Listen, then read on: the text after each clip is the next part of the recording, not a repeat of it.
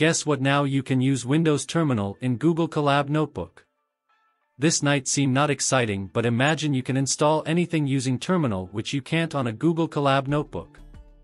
Now you can run softwares after installing them using Terminal in your Google Drive and use them. I made a portable software using this. If you are new to my YouTube channel subscribe it and press bell icon to stay updated. Well let's see how you can use this.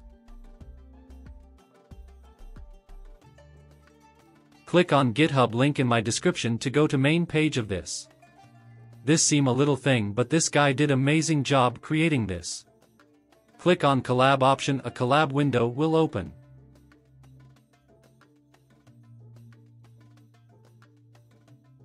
Click on Runtime choose GPU you can also use CPU to install softwares which need CPU.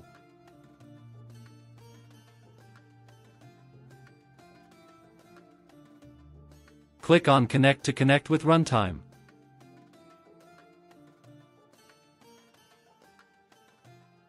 After connected run first cell to install it.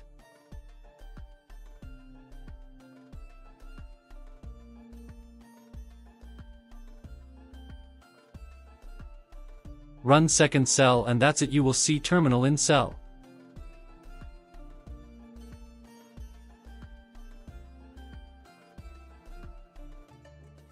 This works same as Window Terminal and you can install any software which you can on Windows.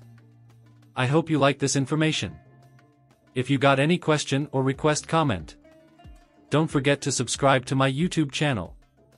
Take care.